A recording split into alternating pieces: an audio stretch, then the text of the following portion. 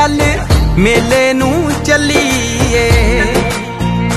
ਹੋ ਰੌਣਕ ਹੋ ਜੂ ਘਟ ਵੇ, ਚੱਲ ਮੇਲੇ ਨੂੰ ਚੱਲੀਏ।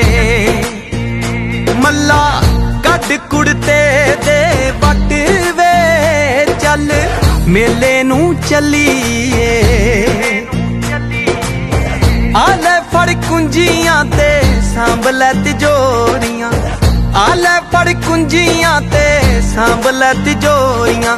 ਖਸਮਾਂ ਨੂੰ ਖਾਂਦਾ ਈ ਤੇਰਾ ਘਰ ਵੇ। ਚੱਲ ਮੇਲੇ ਨੂੰ ਚੱਲੀਏ।